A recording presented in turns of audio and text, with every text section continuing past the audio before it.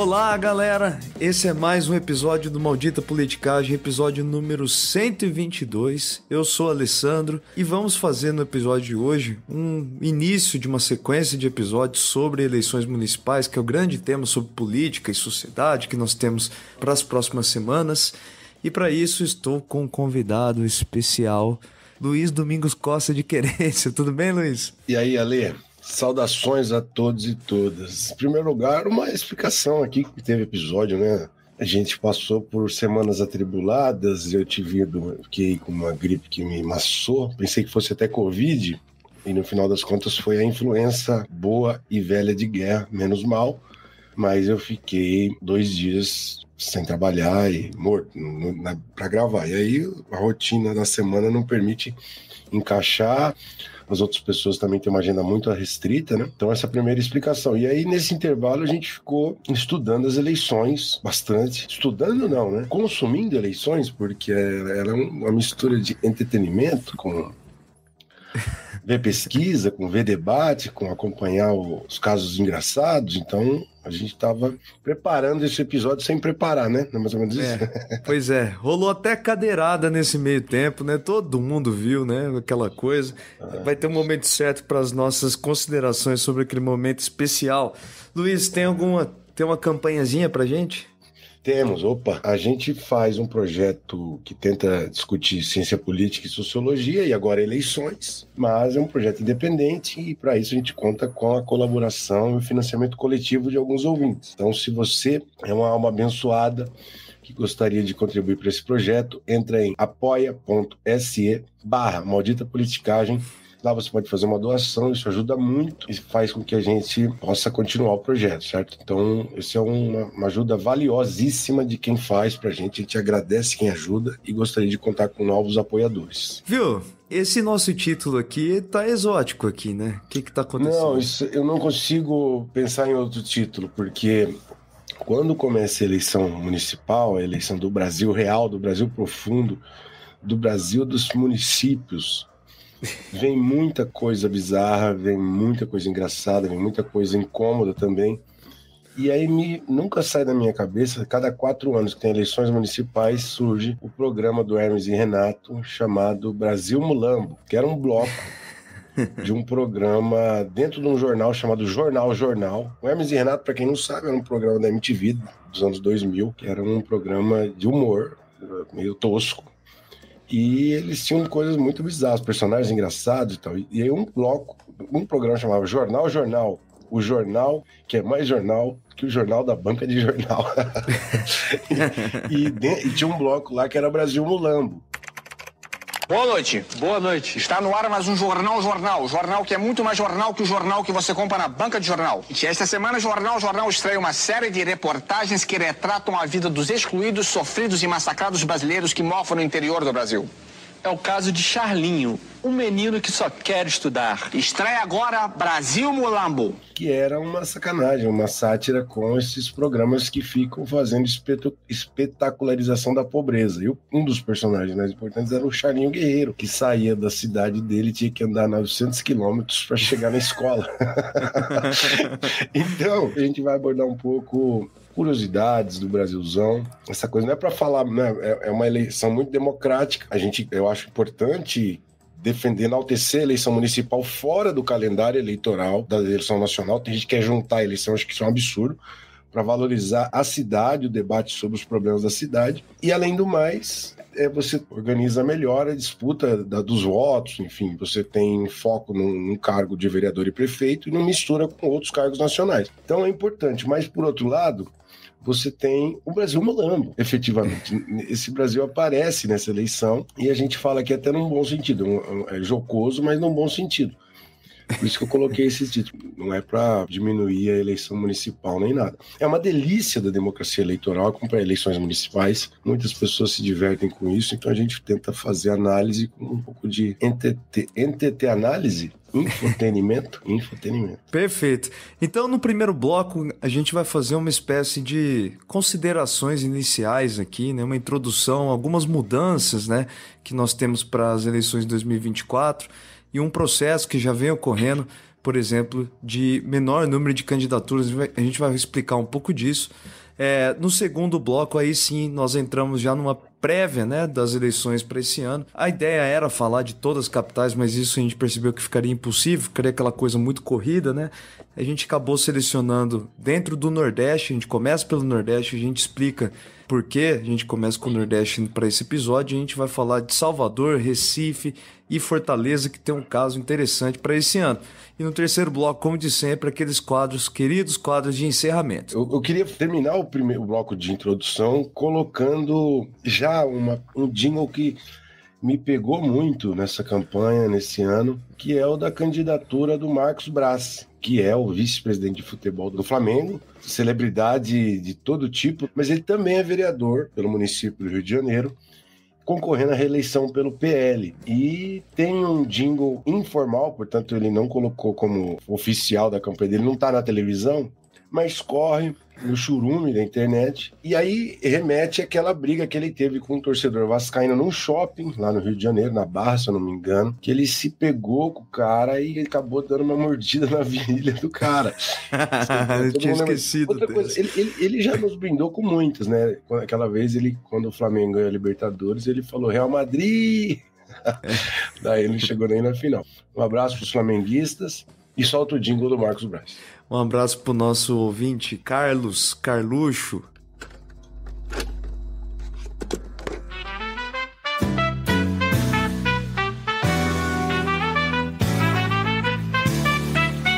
Vinte dois cento e onze é Marcos Braz, vereador morde virilha de rapaz. Vinte dois cento e onze é Marcos Braz, vereador morde virilha de rapaz. 2211 é Fabras Pet pra mudar.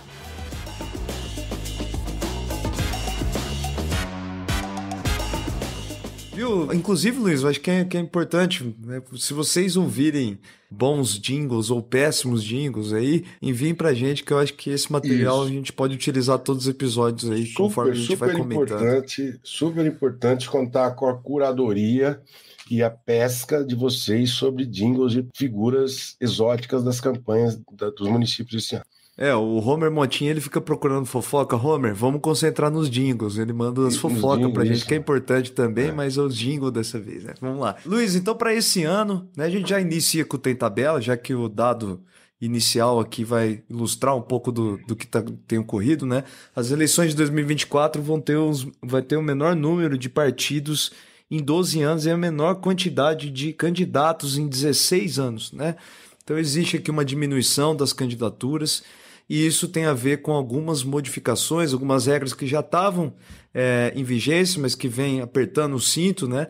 E algumas que foram introduzidas esse ano, né? Então, até o momento da, da avaliação da, do portal G1, né? Foram 460 mil candidaturas registradas, né? O que representa 18, quase 20% a menos em relação a 2020. É um recuo de quase 100 mil candidaturas, né? Então é bastante coisa, né? É, esse recuo é ainda maior é, por causa da, de vereadores como tudo. Por que, que acontece isso, Luiz Domingos? Vamos lá. É, são três grandes argumentos. Quer começar antes, primeiro aí? Antes de mais nada, eu quero, eu quero envolver o ouvinte e você, Alessandro hum. com o espírito da crônica política nas eleições, que a gente liga a televisão e é uma enxurrada de informação na internet, nos canais de YouTube. Mas o que vem com isso é também muito, muita fórmula né, de expressão. É. E uma que se usa muito quando se analisa é, pesquisas eleitorais é, aspas, bateu no teto. O número de candidatos esse ano, no ano, na eleição passada, 2020, bateu no teto e agora está se reduzindo. Por quê? Porque são três fatores, como você vai explicar para a gente. Vamos lá. Então vamos lá. Agora, né, cada partido tem um limite máximo de candidaturas. Por exemplo, né, em 2020, é, a partir de 2017, aliás, né, mas em 2020 a regra ainda era de 150% em relação ao número de cadeiras. Então, se querência tem Nove. Dois vereadores? Mentira, nove, brincando. Nove, nove, nove tá vereadores. Tirando, no, dez, dez vereadores. Vamos colocar dez, porra. Porque dez vereadores para não complicar a matemática aqui, uhum. por favor. Se, se, se o município tem, tinha 10 cadeiras, né, o Partido Verde, sei lá, o Partido Progressista, ia poder ter 150% desse número, ou seja, 15 candidatos. Né? Para essas eleições desse ano, nós temos o um número de 100% mais um. Isso. Né? Então, é, se tem 10 cadeiras, seriam 11 apenas candidatos. Então, essa regra já, já poda muitos candidatos a vereadores, né? já diminui bastante. Uhum. Além disso, Luiz, eu acho que essa você seria o cara fundamental para explicar aqui. Nós temos agora as federações partidárias como fórmula de substituição às coligações partidárias que já aconteceu em 2020, né? Já vem uma mudança que vem de longe. A grande diferença aqui é que as federações elas, elas atuam nas eleições como se fosse apenas um partido, né? Sim. Que somam, né? Então, nesse número teto aqui, ela o teto bate muito rápido caso você seja uma federação, portanto, né? Isso. E além do mais, o, a federação tem que ter existência de pelo menos quatro anos, né? Para evitar aquela instabilidade nas, nas alianças entre os partidos a cada eleição, uma, uma aliança e as, as grandes federações foram definidas em 22, embora a regra já existisse em 20. Os partidos deixaram para fazer em 2022 e foram as federações, a mais, mais importante, né, de projeção nacional, que está o PT, que é o partido que governa o país, PT, PCdoB e Rede, é isso? Perfeito. Então, é... é tem, tem a do PSDB com Solidariedade, é, ou Cidadania, perdão, e, e aí esse, eles operam como um partido nas, coliga, nas eleições. E aí, portanto, você pode limita o número de candidatos para todos esses partidos. Tem mais um fator ainda, né? Tem mais um, um terceiro fator que é talvez um, um dos mais impactantes, né? que é, no ponto de vista geral, né, não só em relação ao número de candidatos, mas nós temos uma cláusula de barreira que vai se apertando com o tempo. Né? Cláusula de barreira, para quem não sabe, é uma barreira para aqueles partidos que iriam, no critério né, de partidos que vão receber é, o fundo partidário. Né? Então, em 2020, 2024, para esse ano, né, nós temos 2% de votos válidos necessários para você conseguir é, ter acesso ao fundo partidário. Mas esses 2%, né, que é essa cláusula de barreira atual, é em relação à política nacional do Congresso, né? não em relação é, ao município. Mas isso vai bater no dinheiro que o partido tem disponível para ele, né? no, no tempo de TV, etc. Então, se o partido não tem 2% dos votos nas eleições nacionais, ele acaba não tendo acesso a esse fundo partidário. Né? Esse número vai apertar com o tempo. Em 2026 a gente vai ter 2,5% e em 2030 3%. Né? Essa é uma tentativa de diminuir é, o número de partidos com acesso é, o número de partidos sem peso, né, com acesso aos fundos partidários, né? É. Lembrando que a eleição funciona, o financiamento da eleição, a principal fonte desse recurso é um, um fundo chamado Fundo Especial de Financiamento de Campanhas, que esse ano chegou em 4,9 bilhões de reais. E esse dinheiro estava, enfim, estava disponível a um, a um universo muito grande de partidos. Então, eles estão. A regra procura restringir o acesso a esse recurso para diminuir o número de partidos que vinham se multiplicando é, de, que nem praga. Né? Então, a partir de desde 20, de 22, de 18, 22, isso vem diminuindo, que a reforma é de 2017, e aí isso, por exemplo, tem um impacto, vários partidos estão se fundindo com outros, na eleição municipal de 2020 eram 34 partidos, agora são 29 partidos. Então, a cláusula de barreira impacta na diminuição do número de partidos, portanto, menos partidos, um somatório menor de candidatos à disposição da eleitorado. Isso é muito bom. Essas mudanças são positivas. Por quê? Porque tinha um, crescimento uh, artificial do número de candidaturas que vinha ocorrendo em 2012, 2016, então, quer dizer, tinha muito candidato para um debate que muitas vezes ficava inaudível, né? Muito candidato a vereador. Inclusive apaga aquela. É, aumenta as chances das mulheres também, né? Em relação às cotas de é, representação feminina. Quando você diminui, sim, isso. É. Então, então uma, é benéfica, uma mudança benéfica, né? E diminuir um pouco o número de candidatos é bom. O Brasil, vale lembrar, a gente já fala isso direto, mas no critério do número de candidaturas, o Brasil é a maior democracia do mundo, porque são 460 mil candidatos. Nós já batemos mais de 500 e tantos mil candidatos. Isso. Meio milhão de candidatos em uma única eleição em todo o território nacional. em 5.569 municípios. Então, essas regras, é, essas regras agregado, vêm justamente para diminuir isso, né? Diminuir, vai diminuir, vai, vai capaz que na próxima reduza um pouco mais, mas a escala é muito grande porque são muitos municípios e, e a eleição e a eleição para vereador faz esse valor crescer, né? 300 é. e poucos mil candidatos a vereador no país inteiro. Perfeito. E agora, um segundo tem tabela que você já atravessou no começo, mas esse é o tem tabela de fato do bloco 1 tradicional do nosso arco narrativo.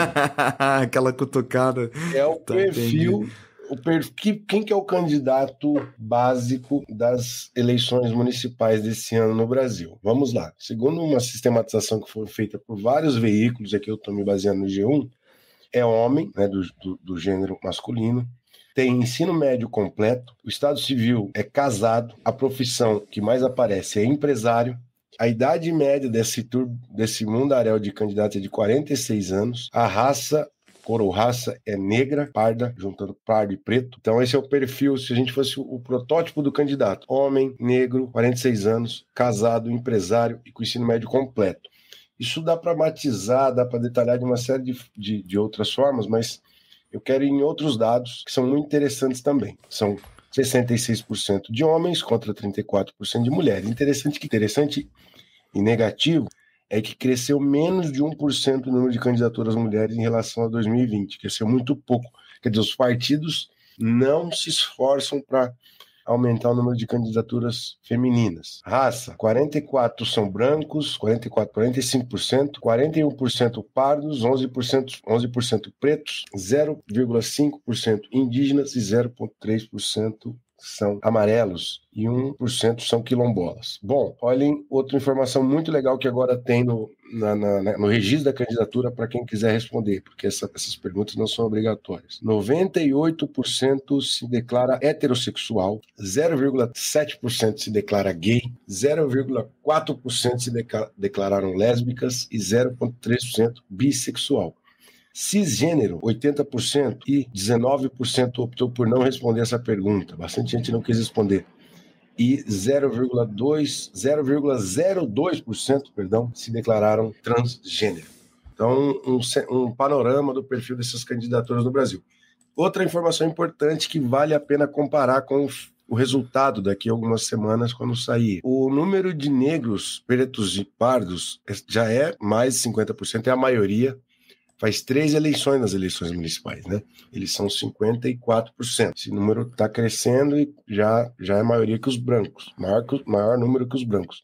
Só que quando a gente compara com os eleitos, a maioria de eleitos vai dar branco, certo? O que mostra a desigualdade da competitividade entre as raças. Né? Os negros têm menos competitividade em, por muitos fatores estruturais e um fator organizacional dos partidos. Os partidos dão menos dinheiro para os negros, basicamente. Né? Você sabe que, não, quer, não querendo, não tendo nenhuma intenção de ser agressivo, mas de verdade, essa pergunta de cisgênero ou transgênero, eu, a gente fez uma vez na escola, as pessoas não respondem porque elas não sabem. É, né? As pessoas não sabem a hora, que, é hora, que, a hora que a galera vê lá transgênero, cisgênero, fala, pô, só não, não, não quero responder. Pá, é, lá. verdade. É muito comum nesse tipo de pergunta aí.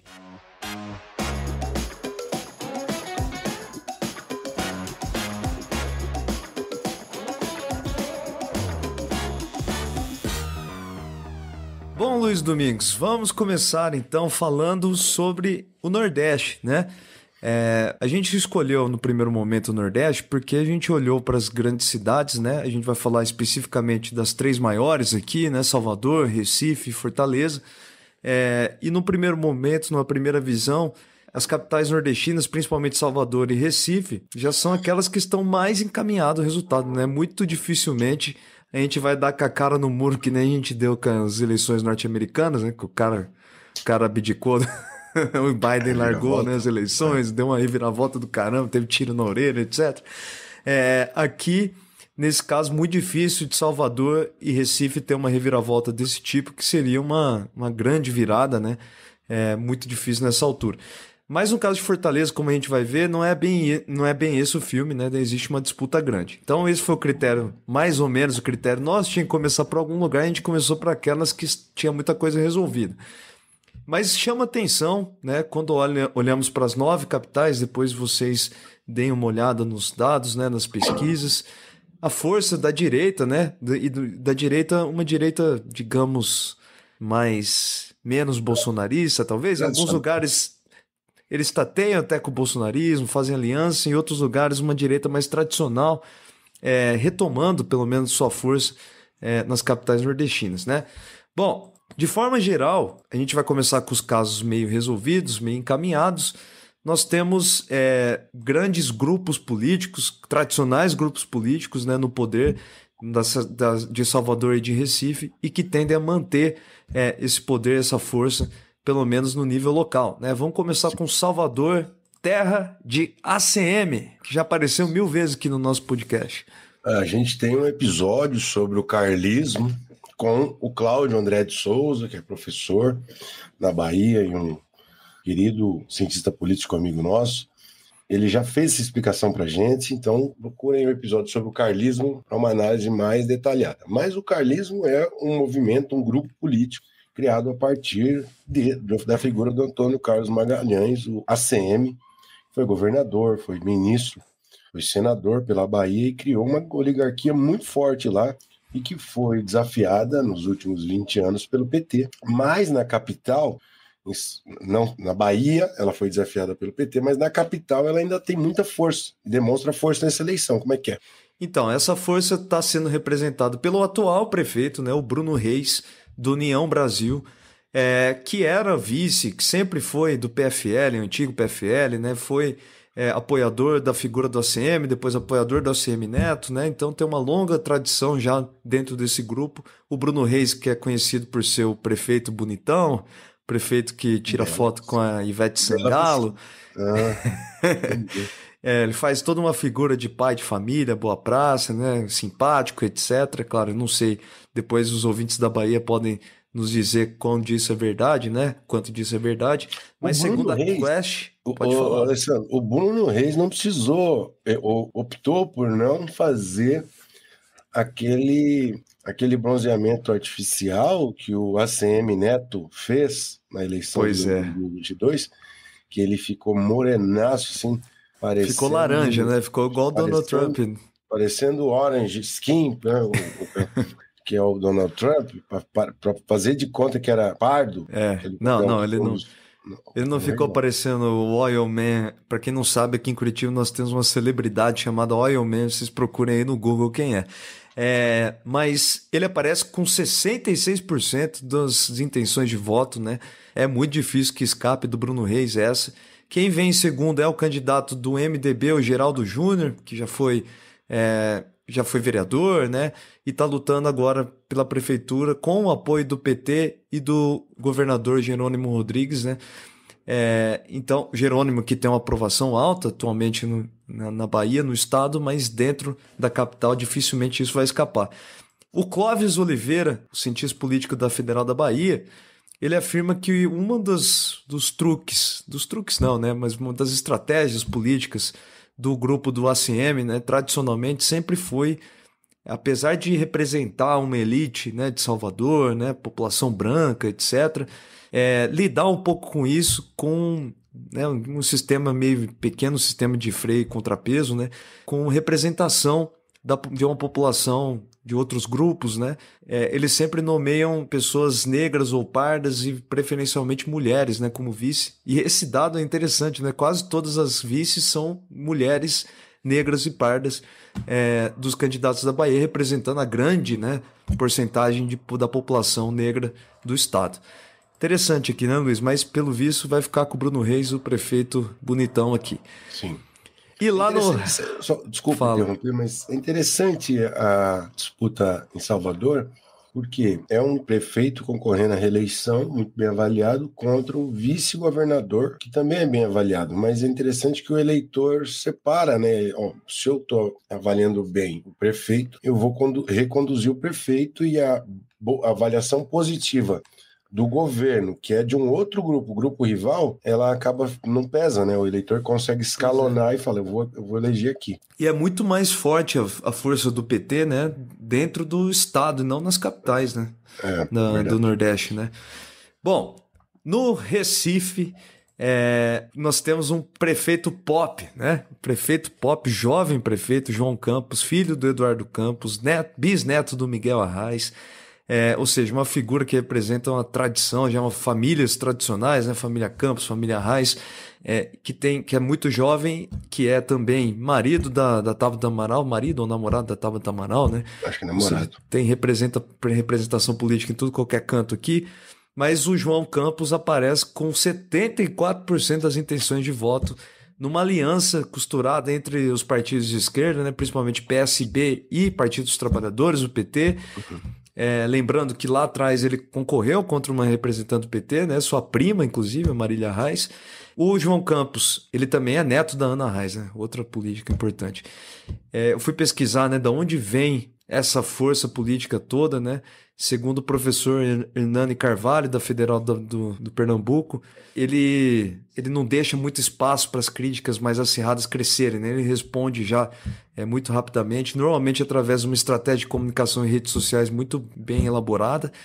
Aí, é, se vocês olham já para o perfil do, do João Campos, ele tenta passar uma imagem de workaholic ao mesmo tempo de ser um cara simpático, agradável, né? Ele pinta cabelo, vai leve. Carnaval. Pinta cabelo de loiro. Né? É, então, pois é.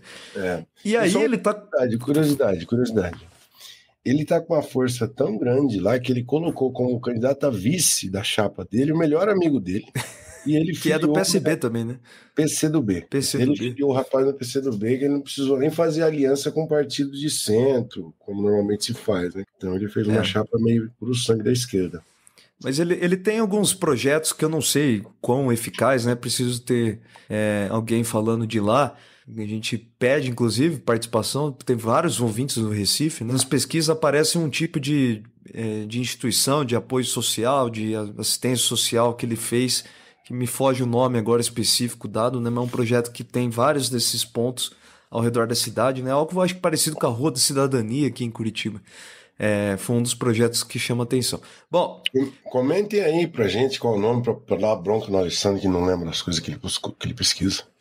Eu, eu, na minha cabeça tá Compass, mas eu não tenho certeza, tá? É, bom, o Gilson Machado é quem tá concorrendo contra ele. O Gilson Machado, esse é um perfil engraçado. O cara é do PL, produtor rural, ex-cantor de forró de um grupo famoso, diz as pesquisas é, chamado Forró de Brucelose. Conhece? Tocava lá em Querência? É esse ou não? Ó, devia tocar lá no, no, nos grandes estabelecimentos querencianos. Você chega a música de muita qualidade e bastante música nordestina. Mas eu tenho ido pouco para saber, tenho frequentado tanto Querência quanto os próprios estabelecimentos é, de muito valor, eu não tenho ido mais.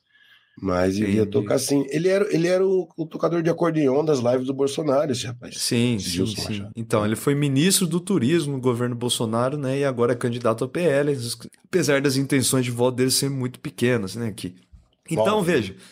Salvador e Recife, ao que tudo indica, a coisa está encaminhada, né? Claro que isso uhum. pode mudar, mas pelo visto, João Campos e Bruno Reis têm tudo para ser eleitos. Aí a gente chega Na, em Fortaleza. Galera do céu, olha, reparem como a força, como é importante é, as elites políticas terem ou não um acordo aqui. Né? No caso de Recife, no caso de Salvador, é, as alianças, né, os grupos costuraram muito antecipadamente as coisas e as eleições começaram já encaminhadas dessa forma.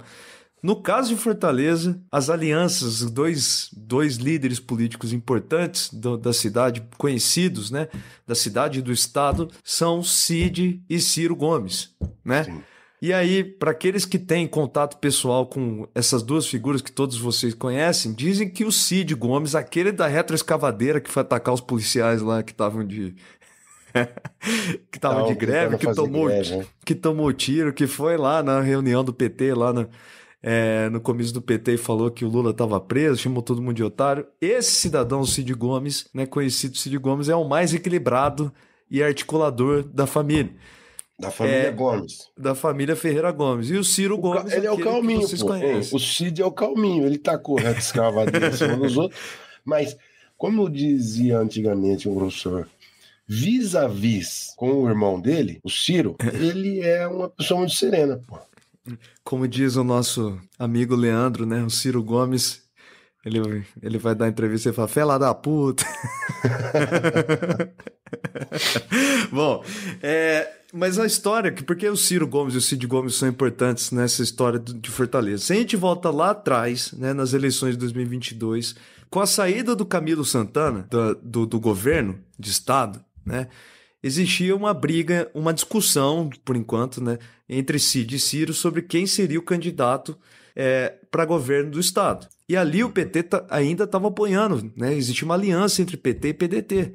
Só que quem substitui Camilo Santana no, no governo, que era, era a vice dele, a Isolda Sela, que era aquela mulher conhecida por ser mentora daquele plano é, de educação lá atrás, que, que, que inclusive é uma das bandeiras da família Ferreira Gomes, né? Bom, só que no meio desse caminho, o Ciro Gomes foi contra né, a manutenção da Isolda Sela como uma candidata. Isolda Sela, que repito, que era a vice, ele foi contra a manutenção dela como candidata a governo. E passa a apoiar um candidato do próprio PDT, o Roberto Cláudio, que havia sido é, decidido numa, em uma votação interna do partido, né, numa primária do partido. Então veja o negócio que virou. do partido que seria a Isolda. Não, na, na, na votação do partido ficou Roberto Cláudio antes da Isolda. Ah, Só tá. que a Isolda assumiu e todo mundo foi para ela. Tentaram mudar hum. a coisa. Só que nessa briga, Ciro ficou com Roberto Cláudio e o Cid Gomes ficou quieto, mas não gostou da decisão. No final das contas, o PDT lançou Roberto Cláudio como candidato é, para disputar, principalmente contra o Capitão Wagner, que era uma força, força bolsonarista. No final das contas, o PT da Gleisi Hoffmann pulou fora, lançou candidato é, próprio, o Eumano, de Fre o Eumano Freitas, que foi, que foi eleito. Né? Uhum. Só que esse racha aí deixou o Ciro pé da vida. É, o Cid quase não participou também com o cabo eleitoral dele.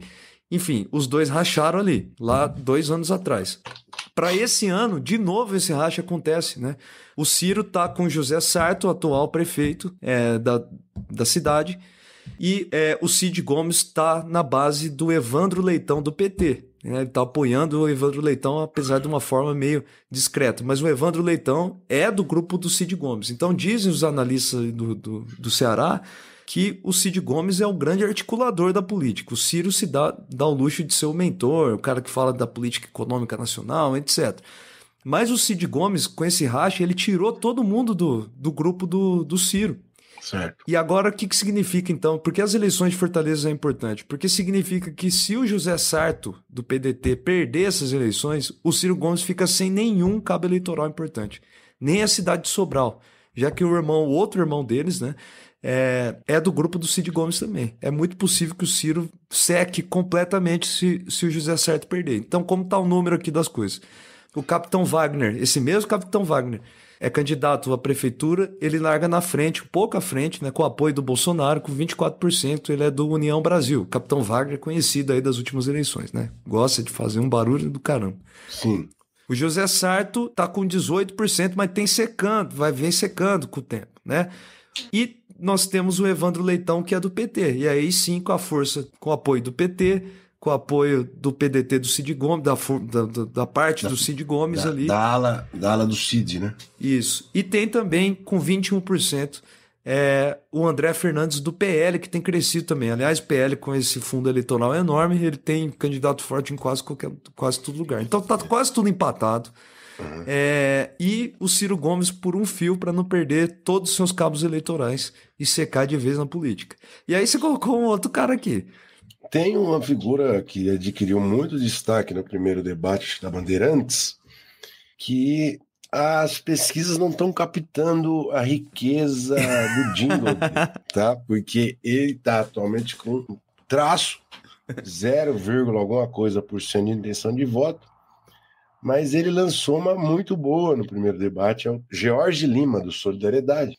Ele tava batendo boca com o cara no, no, outro candidato, acho que era o André Fernandes, e aí ele falou pro cara, chupa aqui pra ver se sai leite, porque essa expressão, antes que as pessoas com má fé pensem que tem qualquer conotação, uma expressão muito tradicional lá que significa, não, hum, você não tá falando a verdade, né? Tipo, chupa aqui pra ver se sai leite é chupa de um pedaço de pau pra ver se sai leite, de um pedaço de madeira que não vai sair leite, né? Então, tipo, é mentira o que você está falando. E aí ele fez um jingle com essa expressão maravilhosa que viralizou nas, antes do jingle, a, a fala dele no debate viralizou. E daí depois ele pegou, carona né, na própria fala do debate, criou o jingle que vai sair para vocês. Mas o jingle ainda não está sendo captado pelas pesquisas, porque ele está só com 0%, né, por enquanto.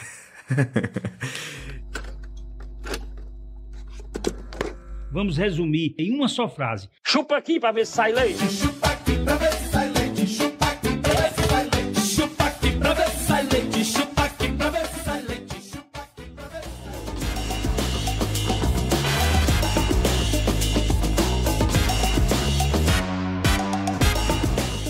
Vamos fazer aqui, você quer queimar a cara aqui, Luiz? Chutar aqui quem ganha? Cada uma das três? Ah, é muito difícil, pô, japonês. Você coloca cada. Porra, pra quem fazer Pô, isso? mas né, é, comigo? é- não, a gente tem que queimar cara aqui pra virar meme depois. Não vai virar, né? Salvador e Recife não vai mudar, né? Pelo visto. Não. Visto. Só se alguém dá uma cadeirada em alguém, etc. É, pensei que você tava falando de Fortaleza. Não, e Fortaleza. Bom, vamos ver o Fala, que acontece. canalha. Você, você, você sugere e não, não, faz. É. eu vou- Eu vou chutar aqui então. Vou sair aqui do meu coisa. Cara, eu tô achando que esse André Fernandes vai levar. Do PL? É. Ô, louco. Coragem. Mas é porque eu vi aqui os gráficos dele crescendo rápido aqui. Ele tá crescendo junto com o Evandro Leitão. Acho que vai dar uma briga boa. Pode ser que o José Certo não vá nem pra segundo turno. Mas ele tem a máquina, enfim, é difícil. Essa, essa aqui. Quem é aí de Fortaleza, dá o chute aí. Eu fiz um chute completamente sem rumo aqui.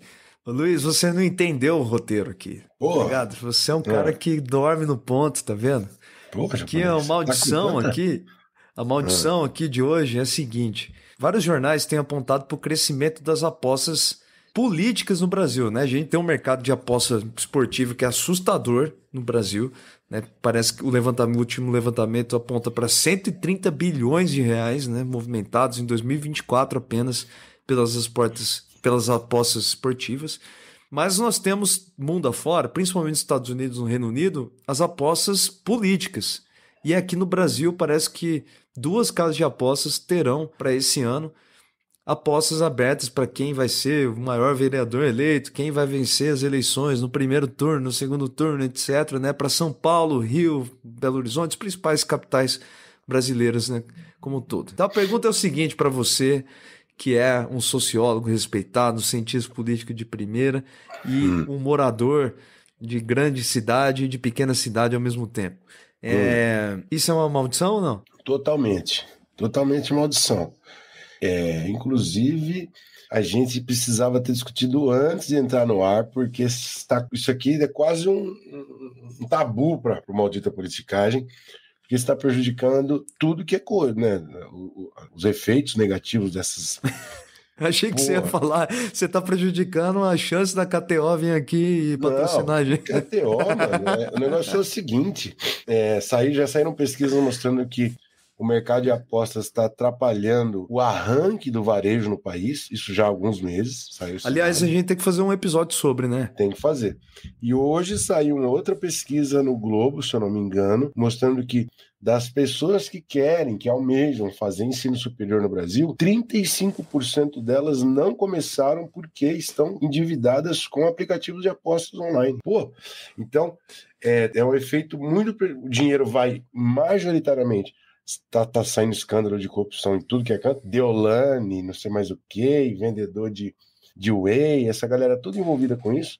E muito desse capital vai de vereda para o estrangeiro. Vai para a China, vai para os Estados Unidos, vai para outras empresas que investem nesses sites aqui. E, e, não- e aí não, não recupera a economia nacional, endivida as famílias. Parece que 12% dos, dos beneficiários do Bolsa Família estão gastando dinheiro com isso. Um perigo, né? Pessoas estão gerando vício, então é uma tragédia social isso aí. E aí já está tão interligado estruturalmente na economia que o futebol depende estruturalmente disso, os meios de comunicação, os veículos de imprensa. Então, agora, como é que você regula isso? É um pipinaço, pipinaço. Mal- Isso é mal. KTO, Boa. paga nós, mas aqui nós não podemos defender, não. Tá, e aí, Luiz, e querência? O que, que aconteceu em querência? pro nosso quadro eu, dessa semana? Eu tô, eu tô. A história é meio bestinha, mas acabei de. Eu gosto, eu gosto, eu gosto. Fora, eu gosto. É o seguinte: existem. É, na época da eleição, é uma época de você se divertir com a eleição, de passar raiva com a eleição, de conversar com a eleição. Lembra o episódio que nós vimos sobre como definir a democracia? É. é muito divertido você escutar a conversa dos outros, porque sempre alguém vai falar de eleição na rua, pessoas desconhecidas, né? Então a pessoa tá lá falando qualquer coisa e fala: será que com essa coisa de redes sociais e celular, vai acabar o caderno de caligrafia e daqui a pouco ela fala de eleição, né? Ela vai misturando os assuntos. então, eu falo assim, ei, esses candidatos, esses malucos aí, daqui a pouco muda de assunto. E falei, ei, será que o carro elétrico vai? Agora vai o carro elétrico, entendeu? Vai tremeando os assuntos assim, né? E aí no ônibus, é muito divertido.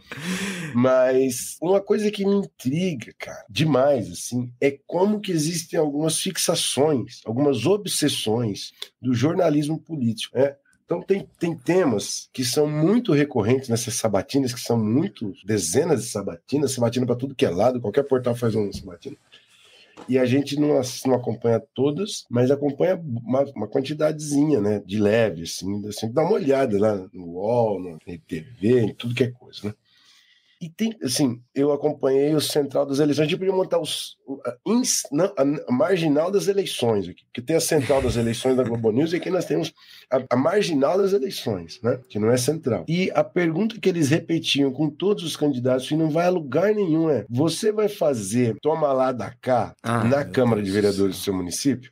Ou então, aí eu vi em particular uma com o Boulos na, na, Globo News, que ele foi dar uma resposta meio escapando, né? Falou: não, tem que negociar a minha agenda, né? Pactuar o governo para fazer minhas políticas. É um multipartidarismo, a gente não vai ter maioria. Explicação elementar da coisa. Aí um, eles fazem uma espécie de blitz em cima do candidato, né? Uma, eles fazem um bloco de jornalistas para pressionar o candidato. E aí outro, a, a, a, a Natuza fez a pergunta, aí o Camarote veio lá e falou: deputado, você está fugindo da pergunta. Vai ou não vai fazer loteamento político? Ah, pô, ah. é um não, é um debate estéreo, é um não debate, pô, sabe? Então é uma coisa louca. Então a gente se diverte, passa raiva e se irrita com esses programas eleitorais, esse, esse tipo de abordagem que, meu, eu não sei, sabe? Tipo, não, não vai, não existe não fazer isso. É a lógica do sistema, não é? é. E parece, eles transformam isso num traço de caráter. E não é um traço de caráter, né? Sim. Pô, Certo. Viu, deixa eu contar o que aconteceu comigo hoje de manhã, né? Eu entrei hum. num grupo de amigos. Aí é rico, aí é muita riqueza. E é. aí a classificação ideológica dos, dos candidatos era que o, o nosso querido Datena era comunista e deu uma cadeirada no Marçal, que é de direita. Eu fiquei pensando, é. caraca, meu, que coisa bizonha, né, cara? Nunca, uma coisa que eu nunca tinha ouvido falar é que o Datena era comunista, né? É, pra gente é. lembrar aqui pro nosso político da semana, não, meu político favorito aqui, o último quadro, é. Luiz, não tem como, né? Brasil, parte do Brasil se sentiu representado na, na cadeirada, né? Ah, apesar, de ser, apesar de ser triste a coisa, né? Porra, cara, triste, maior cara. capital. Não, tri, é, é, é, feliz o acontecimento, mas o maior capital como país. Nós, como nós não tá estamos negócio central, desse, né? Como, no, ó, como nós não estamos na central das eleições, nós estamos na marginal das eleições a gente não precisa defender uma, moral, uma falsa moral. Aquela cadeira representa muito, pô. Esquece, não tem jeito. Não, eu tô falando, isso. cara, mas, eu, mas é muito fraco, né, cara? Os, a candidatura em São Paulo tá feia a coisa, né, Ben? Pô. Sim. É, eu, eu me decepcionei um pouco com, com, com, a forma como foi, foi se construindo também a candidatura do Boulos. Achei, tô achando meio fraca, enfim. É. é Tá difícil. Concordo que o Boulos, em relação a 2020, a candidata, a, a, o marketing dele piorou muito, né? Ele teve uma campanha muito mais com mais brilho, mais criatividade em 2020 e agora ele, ele vestiu uma um personagem de, de mais seriedade para ficar mais prefeitura mais prefeiturável, é. mais prefeiturável para alguém cortar o que você falou, sua tossida, a, a, o maldito político está doente de, de gripe, né? É, e essa, sabe, more presidential, assim, mais, mais serião, e cagou, pô. Aí ficou, sabe, Perdeu ele é desafiante, pô. Ele é desafiante, ele não é o prefeito. É. Então ele aí, tem que inovar. Aí o outro cara que me chamou a atenção foi hum. esse Tiririca do Maranhão, né? Eu bati, né? Agora que eu vi. Eu não vi, rapaz. O cara... Você não me passa isso? Ali, ó, tem a... não, eu tenho que postar aqui o negócio. Ah, tá aqui. Pô, excelente. É, excelente. O... o Tiririca do Maranhão. É, o cara, né, foi candidato a vereador e vai ser continuar sendo candidato a vereador. É, ele tem o um apelido de Tiririca do Maranhão, porque o cara, ele é tipo um Tiririca, mas ele tem um, um cabelo, um cabelo bem daqueles de salão de beleza dos anos 90, assim, né? Uhum. um terno bom, azul, bem bonito. E eu não é, sei se eu escrevi o nome É um azul meio acetinado, hein? É um é. azul que chega, estoura o, o, o, visual do olhar aqui. Hum. Isso, mas o nome dele é Vandeilson Rocha Souza, né? candidato a vereador por São Luís. Então é. aí fica aqui o nosso meu político favorito aqui, né? Que eu gostei desse, desse cara. Grande e, liderança. Alessandro, política. Eu acho que a gente tem que também consultar um pouco o, o ouvinte para ele dizer para a gente se acha que vale. Porque, olha, eu vou falar para você, durante muitos dias eu fiquei com preguiça de fazer discussão sobre o Pablo Marçal, mas eu acho que à medida em que as coisas vão acontecendo, a própria campanha dele, vamos lá, vamos, vamos gastar os lugares aqui, as expressões repetitivos. É que ele parece ter batido no teto, né? Bateu no teto, expressão que eu, acordo lembrando essa expressão, de tanto que eles falam isso na, na crônica. A gente pensa, e o ouvinte disse que é um episódio sobre esse fenômeno, as consequências e os. E eu acho que é uma coisa que vai se repetir. A Deolane vai ser candidata, pode escrever. A Jojo Todinho já falou que vai ser é. candidata, né, de direita, negra de direita. É. É. E muito potencial eleitoral, porque a esquerda infla essa galera e eles vêm soltando farpa para tudo que é lado. Então, é um fenômeno que tende a se, a se reproduzir, a se multiplicar com muita força a partir desse fenômeno dessa eleição 2024. Então, Luiz, é, anota aí no seu caderninho a ideia de fazer um episódio sobre as casas de aposta para depois das eleições, tá? tá não se uhum. esqueça. Na semana que vem a gente vai continuar essa prévia das eleições. A gente não decidiu ainda qual das regiões será será a discutida, ou se serão duas religiões, eventualmente, não sei. Uhum. Eu tenho uma pergunta final para o ouvinte. Hum. Uma grande pergunta, uma grande reflexão. As pessoas falam, ah, a eleição tá, né, pô, cada vez pior, Pablo Marçal, deteriora. Você liga a imprensa, a galera tá sempre falando, ai, que lixo tal. Alessandro, o que está pior? A qualidade do debate da eleição, São Paulo e em outros cantos, em Curitiba também está muito parado, né? Ou a line-up do, do Rock in Rio? O que, que é pior? E para ouvintes também, porque o Rock in Rio tem Matuê, é, Imagine tá... Dragons, você tá, tá queimando a cara, você tá queimando a tá cara zoado. nossa aqui, você tá sabe, zoado. né? Não, o, o, não, o você... Rio... Ó, deixa, deixa eu falar uma coisa, agora sério, né? O ouvinte que ficou até aqui é um ouvinte raiz aqui, né? É. É, eu fui censurado aqui nesse, nesse podcast, que eu zoei o seu boné um dia. O senhor foi lá e botou fora aquilo lá. Né? Não, não. O Luiz Domingos aparece. O Luiz... Luiz Domingos aparece aqui de boné. No dia que a gente foi falar do Pablo Marçal, você vai ter que aparecer de volta com aquele boné lá. Eu não tenho tá nada bom? a ver com aquele boné do Pablo Marçal, rapaz. Eu não tenho pretensões estéticas com o boné. Só porque tem o cabelo despenteado, entendeu? Ou pretensão estética de esconder o cabelo despenteado. Agora, é, o que cabelo, né? Não sei que cabelo eu tô falando. Mas você está desdiversando a respeito da questão central. O que está é. pior, o Campeonato Brasileiro, hum. o a Rock in Rio ou a, o debate eleitoral no Brasil? Essa não, fica, calma lá. Ah. Não, Campeonato Brasileiro não tá ruim, tá bom. Tá Campeonato bom. Brasileiro tá bom, tá bom. A lineup do Rock in Rio sempre, sempre foi do mesmo nível ainda. Né? Cara, mas de verdade, sim, é, esses debates perderam um pouco da, da relevância, né? Nada, eu acho que não, eu acho que não. Eu, eu, eu acho, acho que... que... agora virou muito. Enfim, eu tô, eu tô sem nenhuma análise nenhuma aqui, né? Você, você me colocou numa, num, num beco é. aqui difícil. Você quer molezinha? Mas é. é. Mas, eu, mas eu tenho receio de que hoje é, esses debates servem para criar rios. Sim, não, é. Isso então os caras estão eu... tentando pescar o tempo todo ali, cadeirada, tudo, enfim, né? Esse tipo Sim. de coisa, cara. Então é um, é um, é, virou uma coisa tenebrosa, né? Para fazer um espetáculo não. do pior qualidade não, possível. Né? Para né? com isso. Ah, ó, lá vem, mano. Você pode ir para central das eleições, deixa eu aqui no marginal das eleições. Ah, mas, pô, porque... pô a troca de farpa dos caras ali, um negócio terrível, cara. A única vez que eu fui ver, negócio assim, eu nunca tinha visto não, aqui. Ah, não, é, é, tenebroso o, o, tipo de ofensa que se xinga. É, tá mais nem, nem quando o Bolsonaro tava lá, tava assim, cara. Não, só que, só que assim, qualidade do debate, eu acho que ela é mais efeito estrutural da influência das redes sociais sobre a comunicação televisiva e sobre o perfil dos candidatos do que o problema dos debates em si. Né? Os debates estão caindo porque eles estão pensando em, em Reels, é o que você disse. E não é só é. o Pablo Marçal, embora o Pablo Marçal tenha profissionalizado os cortes com um batalhão de, de jovens que fazem os cortes para ele, é, a qualidade do debate é um, é um problema estrutural da comunicação maior. Mas ainda assim, se não fosse útil para os candidatos e para os ricos e para o próprio eleitor, não tinha tantos e não tinha tantas sabatinas. Né? Então, Mas eu acho, dá audiência, é, dá audiência. Eu acho que, que o segundo turno tende a melhorar um pouco, talvez. Ou não, é, sempre pode piorar. Pense nisso, é, tá bom? Mas tá Beleza? tá bom, tá bom. Mas eu boto fé que o segundo turno vai ter qualidade melhor. Pelo, Mathieu ou por... Imagine Dragons? Que Mathieu, é Matuê, rapaz. É. Galera, direito, né? um abraço, muito obrigado pela audiência. É isso. Até semana Valeu. que vem.